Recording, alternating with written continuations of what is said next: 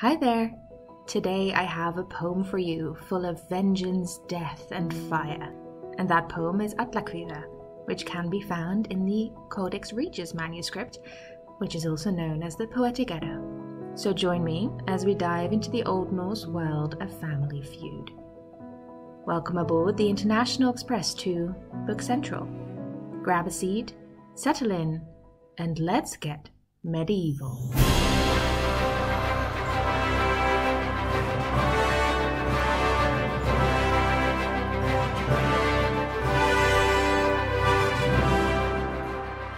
I'm your host, Jules, and today we're doing Atlakvida, and I'm very excited because it is probably my favorite Old Norse poem.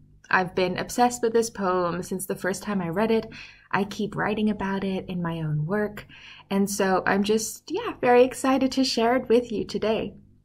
Before I get into the first lines, the plot, etc., it's worth just very briefly talking about the title of this poem. As you may have seen, there's a weird letter in there that we don't really see all that often, especially no longer in English. And that is that weird thing that looks like a reverse D. That is the letter eth. And as the name implies, the sound that it makes is a th. So that's where we get the name Atlakvida from. Now, what does Atlakvida mean? Well, kvida is the Old Norse word for, well, something like song or narrative poem and it comes from the Old Norse verb kveða, which means to say or to utter, to recite, etc. Atla, the first part of the word, is the genitive form of the name Atli. So what we have here is Atlakvida, or the song, the poem of Atli. Now, who is Atli? Well, we're going to find all of that out very soon. But Atlakvida is one of the heroic poems that we find in the Poetic Edda, or, as I said, in the Codex Regius manuscript. This manuscript dates to the 13th century, so we think that it was potentially written around the 1270s, but it is the only source that we have for this poem, Atlakvida, so that makes it very exciting. Now, as you may know from previous Let's Get Medieval episodes, it's never quite straightforward when it comes to the date of a medieval text. So, although Atlakvida is found in a manuscript from the 1270s, there is a lot of speculation that Atlakvida is actually a lot older. Now, again, as won't surprise you, scholars aren't necessarily in agreement about how old it is, but some have suggested that it might be as old as the 9th century, so somewhere around the 800s. So we're dealing with something very old and legendary here. And that's why I love it. So before I get lost in any more academic conjecture here, let's just dive into the poem. I'm going to give you the first verse in Old Norse first, and then in my own translation.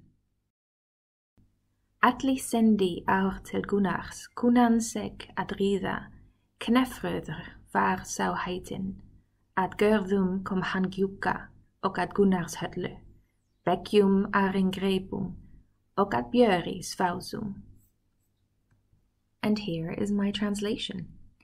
Atli sent a messenger to Gunnar, a knowledgeable man to ride. Knefröder was he called. To Giuki's homesteads came he, and to Gunnar's hall, to the hearth surrounding benches, and to the sweet beer. And with that, we're off. So, we've already met the man after who this poem is named, Atli. Atli has sent a messenger called Knefröder to Gunnar. Gunnar and Atli are both I wouldn't necessarily use the word king because I don't know if it feels appropriate in the context of this poem specifically, but you could call them that as well. They are both very important men with their own homesteads, halls, and troops and treasures. So Atli sends this man off to Gunnar, and we wonder why. But at least we are told that at Gunnar's hall there is sweet beer, so that could be a good enough reason to send someone over. However, when Knefröder gets to this hall of Gunnar, we are told that the followers of Gunnar who are in this hall are kind of hesitant, they're wary about this man because, well, they know of old that the Huns are capable of warfare and of wrath. So Knefröder enters this hall, and we are told that he speaks crafty words to Gunnar, who is sitting on the high bench. And he says, Atli has sent me to you on this errand. I and my horse have ridden through Mirkwood, and we are now here, Gunnar, to invite you to visit Atli at his own hall. There you will get to choose weapons out of his treasury, gold adorned helmets, for example, and shirts of bright red, lances, spears, horses, etc. We will have all of these things for you if you just ride with me. So he's come for a invitation. That's not necessarily bad. So Gunnar listens to this and then he turns to his brother, Hogni, who's sitting or standing next to him, and he says, well, what do you think? Should we do this? I have plenty of gold, so I don't need to go visit Atli for his gold. like all the things he has, I have better ones. So we get this little list from Gunnar about how his horse is the quickest, his sword is the sharpest, and he therefore has no need to go visit Atli for treasure. And Hogni is, I would say, the clever one, and he says, have you noticed that along with this message, our sister has sent us a ring, and this ring is woven with a wolf's hair?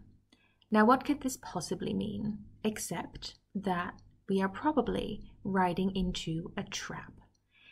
So, Hogni isn't very eager for this journey, but Gunnar is maybe a little insulted in his honor, or he is a bit bitter about something, and so he says, You know what? We are going. It is happening. The wolves shall rule the wealth of the Nibelungen, is what he says. And that is an epic line.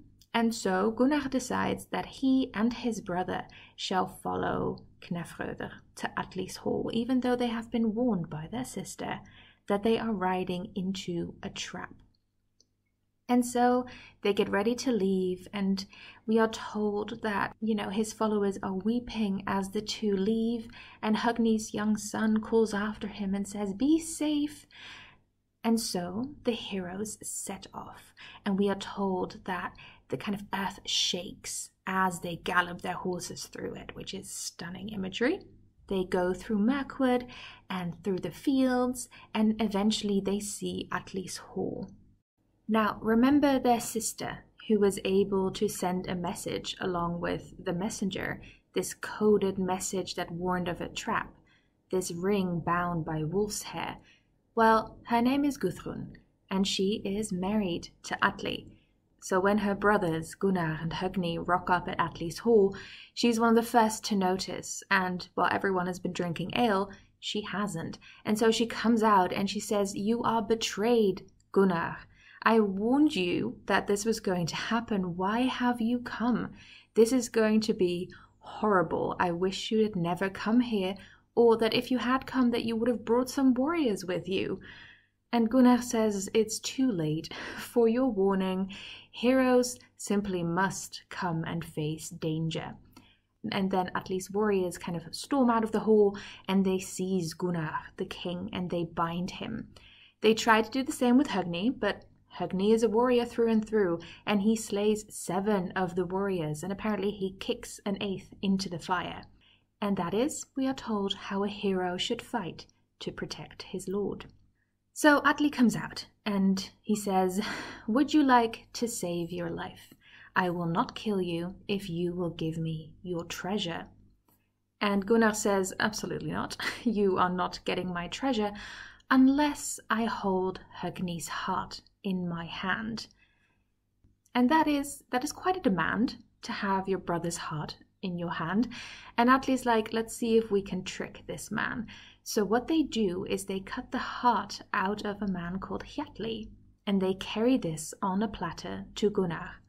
Gunnar looks at it and says, You cannot fool me. Look at this heart lying here on this platter, trembling the way it did when it was still in the chest of Hjalli so he can see that it's not the heart of his valiant brother Hogni. So they have to go back to Hogni, and as they cut out his heart, he laughs. he refuses to cry. And so Hogni dies. Now they carry Hogni's heart to Gunnar. And Gunnar says, Well, thank you very much. This is a heart that does not tremble, even as it lies here. It trembled even less when it was in the chest of my brother. And yet, Atli, you shall never see this gold that you want from me. It was only ever the two of us, Gunnar and Hogni, who knew where this treasure lay, and now that Hogni is dead, I am the last one to know its secret location, and you will never see it. Our gold will never shine on the hands of your men. Atli is upset by this, and so he says, Bring the wagon, bind this man, he is going to die as well. Poor Gudrun, meanwhile, is standing in the middle of all of this madness, and she refuses to cry, we are told, and instead she says, Atli, the way that you have just betrayed my brother, you shall be betrayed too. All the oaths that you swore to him will come and hit you double.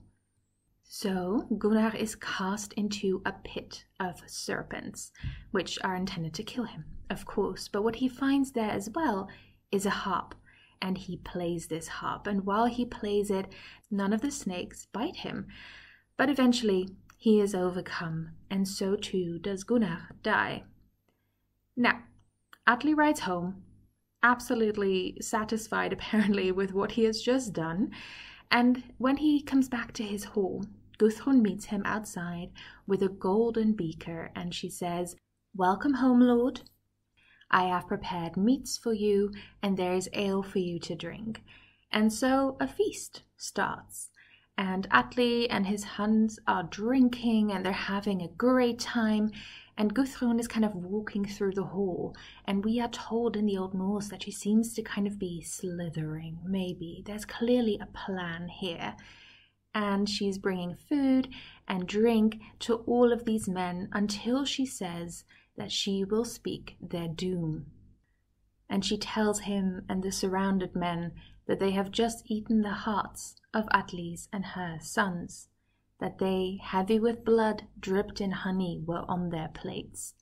And she says, Never again will you call our sons, who are called Erp and Etil, to your lap, Never again will you see them having fun here in the hall or riding their horses.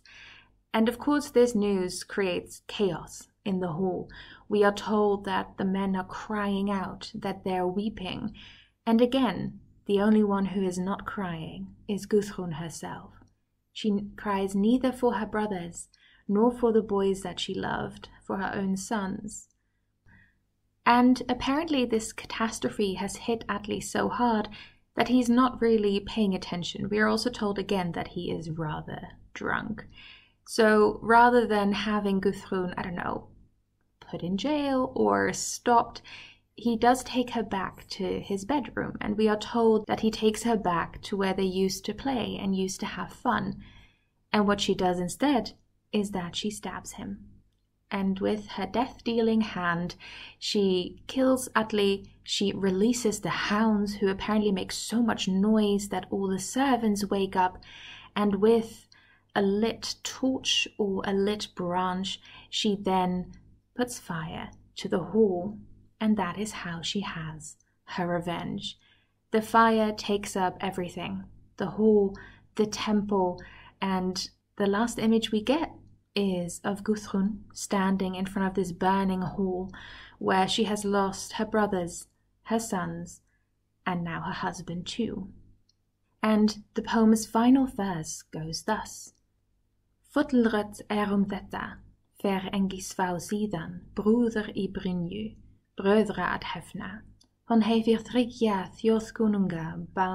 borit, björt. And that is what this means. About this, enough has been said. Since then, no young woman in a byrnie, so in armor, avenged her brothers thus. She has given the death message to three kings of the people, that bright one, before she died. And that is Atlakvida. So, that is quite a bloody poem. We have plenty of death, we have some torture, there is some unfortunate infanticide, and there is the utter collapse of a society. And yes, that is the reason that I love this poem. Don't know what that says about me, but it's just an incredibly evocative text in my mind. Just the way that it describes this conflict which Gudrun has. And I don't know if that came through as strongly in my summary as I would have liked, but we're going to dive into Gudrun's character right now, because of course she's my favorite. Gudrun finds herself in an impossible situation. And in order to understand how impossible her situation really is, it is worth just briefly mentioning that, well, weddings and relationships and marriages in the Middle Ages weren't necessarily formed for love, especially in the early Middle Ages. Quite often, marriages would be arranged between different families, and they would say, Our daughter can marry your son, and that way, hopefully, we won't get into a fight every couple of months. But instead, we'll be united through this marriage they'll have children, and those children will be part of both of us, and that will ensure some kind of peace. That was the hope behind those kind of marriages. So that is also what we have here with Gudrun. She is a part of the Giukings or the Burgundians. It kind of depends on what the poem chooses to call them, but her father was called Giuki, and therefore her and her brothers are the Giukings. So Gudrun was married off to Atli, who is the leader of the Huns, in order to prevent any more bloodshed between these two peoples. But the Burgundians famously have a treasure, which is known as the Nibelungen treasure usually. And Atli, well, he's a bit greedy and he wants this. And so he decides to invite his brothers in law and kill them for this treasure. Now, this is exactly what is not supposed to happen when a marriage has united two different families or groups of people together, right? So now Guthrun kind of stands in the middle of this conflict. On the one side is her husband, whom she has married, and they have sons together. She kind of lives among his people. You know, there are ties of loyalty and maybe even friendship and affection there. But on the other hand, there are her brothers who she grew up with, her blood family, and who she also owes a certain kind of loyalty to. So, what does she do? Well, that is the question that this poem asks, and the poem itself isn't quite sure whether Guthrun does the right thing or not, because once her brothers have been killed by her husband through treachery and by him betraying every oath he ever swore to her and to them, well, she chooses to take vengeance, and in doing so, she kills her own two sons and serves them up to him, which combines two of the biggest taboos that I think any culture ever has known, which is infanticide and cannibalism.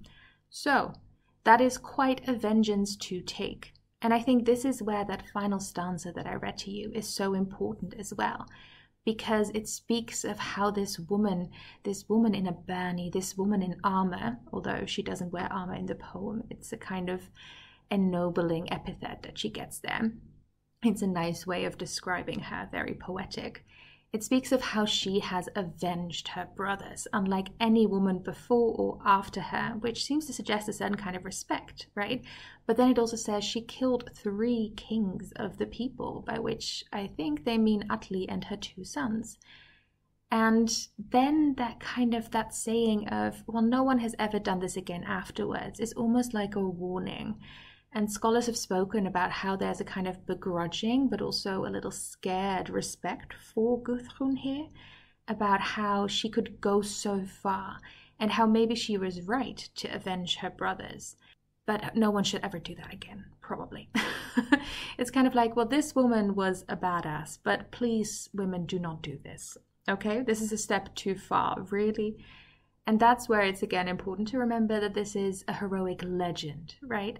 Things happen in myths and legends that I think are overdrawn or that feel extreme, but they are meant to signify something else. They're not meant to be a manual for this is how you should behave. So, what we get here in this poem through this tragedy, through the fact that, you know, the Giukings both die, Gunnar and Hogni are gone, which means that their people no longer have leaders. And Atli and all of his men are gone, his entire hall has been burned down, his sons are dead, so there's no future there either.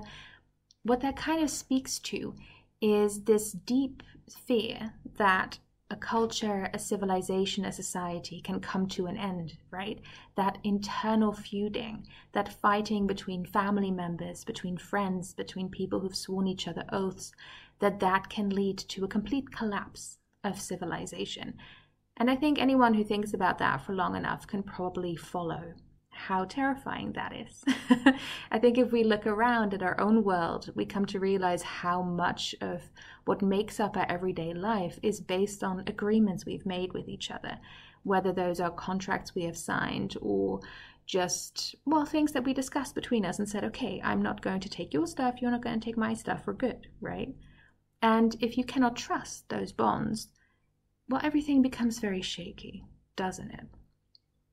One of the reasons I enjoy medieval literature like this is that those kind of concerns, which we can still feel today, also occur there. And you realize that all the stress that we are feeling now, the anxiety of our busy modern world, a lot of that isn't necessarily a modern thing. It's not just an issue now, it's something that people have been wondering about for hundreds of years. How secure is our society? Can we trust the words of others? Who should come first? Which loyalty is the most important? Should I stick close to my family or should I stick close to my partner? Which bonds are the most important? Those are the questions that Atlakvida asks, and it does so through the figure of our heroine Guthrun, who, well, maybe she goes too far but did she have a choice, really? that is the question that the poem asks as well. Did Guthrun really have a choice except going to such extremes in her vengeance? Could she just have stood by as her husband killed her brothers and gone, That's fine, I have a new family now? Or was there more? Well, I've rambled on about the plot for a bit now, but I want to give you a little bit more of a background to this poem as well. And you might have already, as I've been talking about the characters and about the plot, picked up on a couple of things that made you go, huh, I've heard that before. Probably most significantly with the word Nibelungen. The Nibelungen material is potentially one of the most fruitful, fertile ones that have come out of the Middle Ages, at least in my personal opinion. This is a personal opinion. There's plenty of people who don't necessarily like the Nibelungen material but I'm low key obsessed with it. So, for that, I want to take you back in time even further. And I'm going to give you a, metaphor here, which I also give to my students when I talk about this material, and that is the idea of an onion. So, as we all know, ever since Shrek came out and said that ogres are like onions, we're all aware that onions have layers, right? And if you look at a poem like Atlakvida, I think it's very useful to conceptualize it as something of an onion as well, with different layers, different ways in which the story has been told. So, we're going to go through this onion layer by layer, but I'm going to start at the core, at the center of it, and that is the potential historical origins of the Nibelungen material and therefore also of Atlakvida. And that is with the downfall of the Burgundians who used to have a kingdom along the Rhine. Now, this is somewhere in the early 400s, so I think the date that is often given for the destruction of this kingdom is 436 or 437 AD. So at this point, like I said, the Burgundians had a kingdom on the Rhine, and they were led by a king called Gundaharius. He had something of a disagreement with the Romans he no longer wanted to be part of the Roman Empire, or they had some kind of agreement where the Burgundians would kind of assist the Roman Empire at times, and he wanted out of that agreement. But of course, the Romans couldn't just let that fly by, right? So a Roman general called Flavius Aetius destroyed the Burgundian kingdom with some assistance from kind of Hunnish mercenaries, Hunnish warriors, and Gundaharius died in this conflict, the king, and the Burgundians were cast out of their territory and they eventually resettled kind of near what we now know as Geneva and Lyon, so somewhere in France. Now, this took place during a period which historians often call the migration period which took place in Europe somewhere between 3 and 800 AD, which is that's a very large estimate, but we're dealing with complex events here because during this time the Western Roman Empire fell and different tribes kind of invaded this dying empire from the east, especially the Huns, of course, but also other tribes. And that means that during this migration age, loads of people were forced to move, etc. And what that gives you is something of a historic trauma. So there were all these peoples who were witness to their kingdoms, to their societies being destroyed, having to kind of run or flee, migrate, etc. And something like that leaves traces in a culture and in a society. And in this case, that trauma led to the creation of art and literature. So, as I mentioned, the Burgundian king who was killed and who saw his kingdom destroyed was named Gundaharius, and he is who becomes Gunnar in the Old Norse material, or Gunther in the Middle High German material because it's not just medieval Iceland which told stories about these events, they were very much told within Europe as well. So, at the center of our onion, we have this historic event in the early 5th century.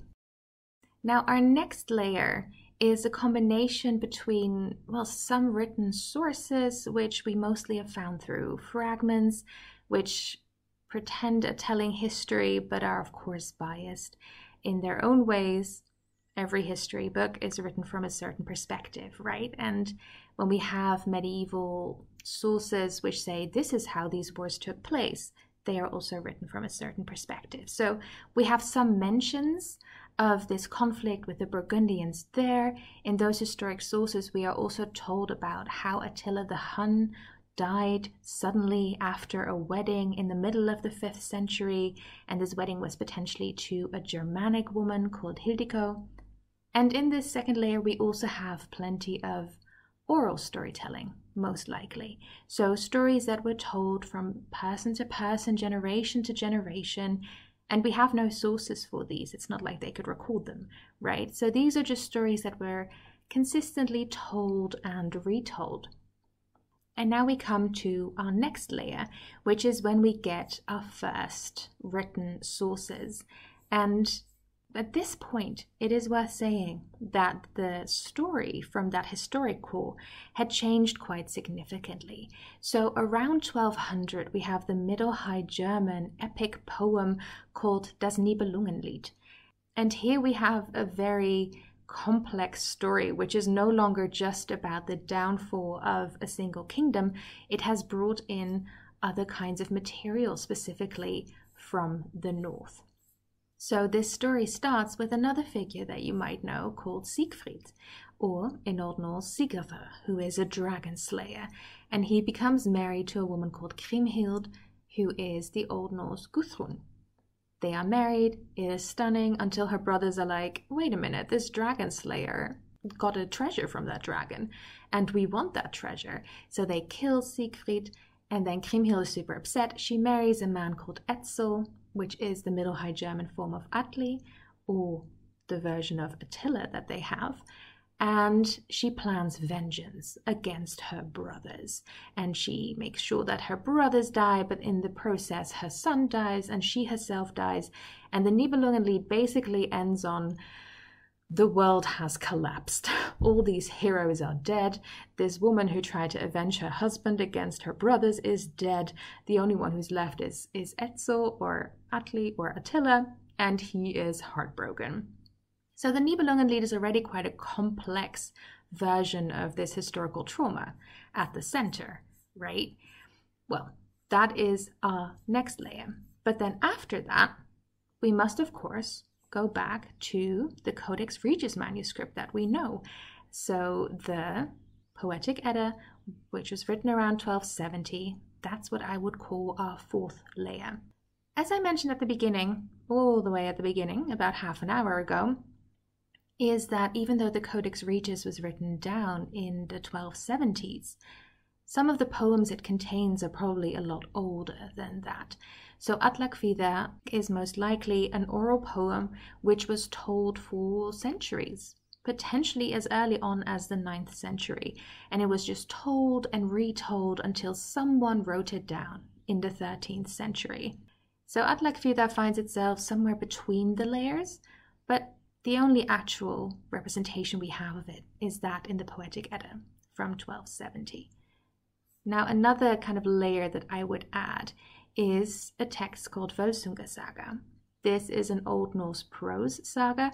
Now, we think it probably dates to the 13th century as well. The manuscript version that we have, again, we only have one manuscript version of this, dates to about 1400.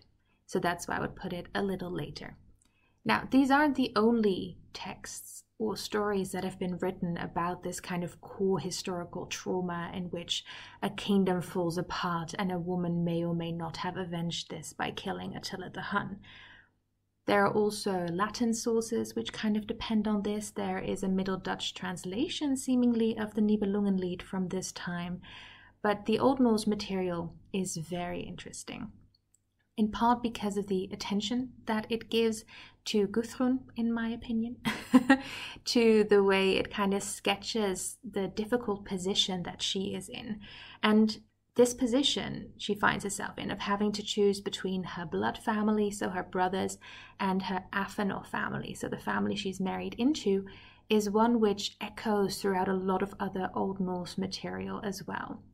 The reason I find it so interesting is that, as you may have picked up uh, when I was talking about the Nibelungenlied, there she makes a different choice, in part because it introduces her first husband, Sigurður, as well.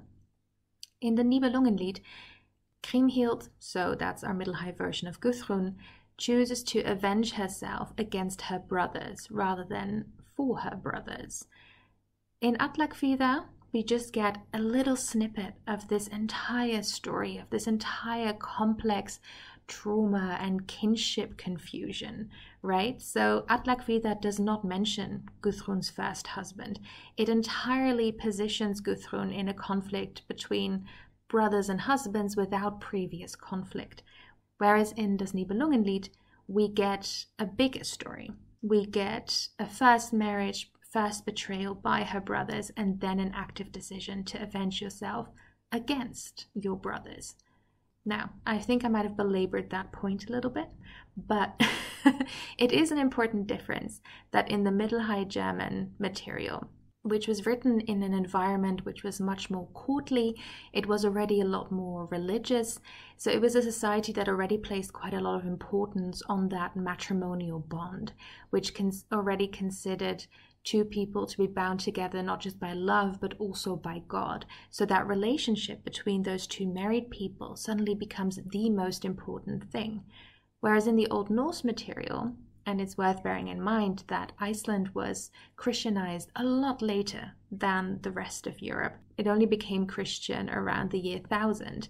So, although it was definitely a Christian country by the time Atlakviða was written down, it still had quite a long period in which perhaps marriage was considered a little differently, where the connections between blood family took primacy over any other bond, right? So in the Old Norse material, the most important relationship that Guthrun decides to prioritize is that between her and her brothers.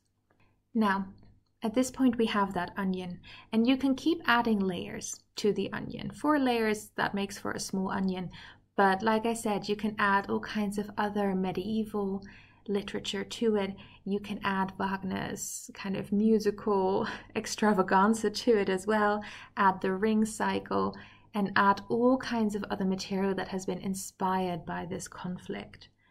And I enjoy an onion like this.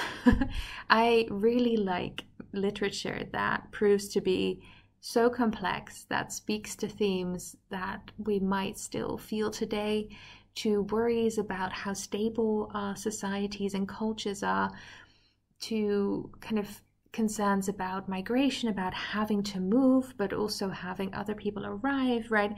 I think those are worries that many people today still feel and i think it's actually quite comforting to find out that people have always dealt with issues like this that we have always found different ways of addressing stresses about where do we live where can we stay are we safe what is most important in my life on that delightful note, I think I will draw a close to this episode. but I would love to know your thoughts about the Nibelungen material, about Atlakviða. I will probably do other episodes in the future about Nibelungen related material. So if you have any questions about it, feel free to shoot me an email or put it in a comment. This is kind of a lot of material and a lot of stuff. So it might be that not all of it came across as clearly as I hoped. But Atlakviða is an epic poem. It ends the way every modern day horror movie with a feminist angle ends, which is a woman covered in blood outside of a burning building. And I think that again shows us some stories are worth telling over and over again. And that's it for today. If you have questions, thoughts on the book, or recommendations or requests for future episodes, feel free to leave a comment or send me an email at bookcentralpod at gmail.com. I'd love to hear from you. You can also subscribe to be informed when new episodes drop. You can find references to the materials used today in the description.